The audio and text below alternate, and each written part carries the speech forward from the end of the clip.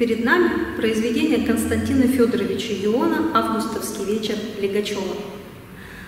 Константин Федорович Ион родился в 1875 году в Москве.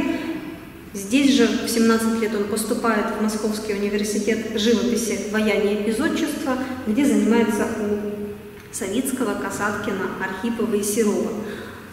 Публика заметила его картины достаточно рано, охотно их покупала, и у молодого художника даже появилась возможность путешествовать по России и Европе. Впоследствии его картины всегда были желанны на выставках как передвижников, так и выставках Союза мира искусств, Союза русских художников, членов которого он был. О нем писали лестные статьи знаменитые ведущие критики и искусствоведы того времени Александр Николаевич Бенуа, Игорь Эммануилович Грабарь и другие. Он и сам выступал как искусствовед с работами о творчестве великих русских художников, о технике живописи, о художественном восприятии, и вскоре после окончания училища и он начал преподавательскую деятельность и занимался ею всю жизнь.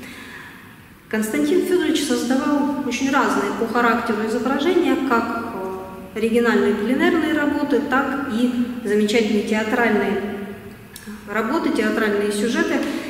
Он пробовал себя в тематической картине, писал портреты своих современников, и, естественно, как и многие его современники, художники того времени, он усваивает некоторые приемы у импрессионистов французских, но не порывает при этом с русской традицией, не растворяет форму в среде.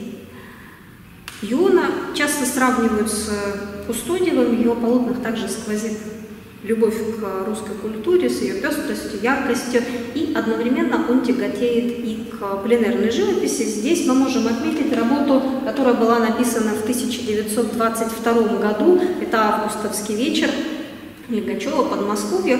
Художник передает здесь лирическое настроение.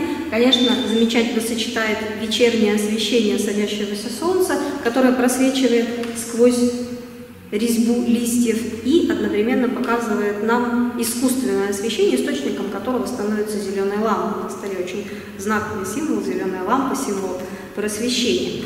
Для нас и нашей коллекции в целом интересно не только то, что эта картина поступила к нам в 1952 году из Государственного русского музея, но также и ее предыстория.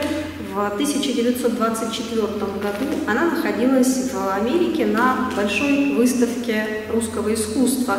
И здесь в вступительной статье к каталогу этой выставки Игорь Грабань особо уделяет внимание этому художнику. Здесь мы вновь возвращаемся к тому, как все взаимосвязано в нашей коллекции.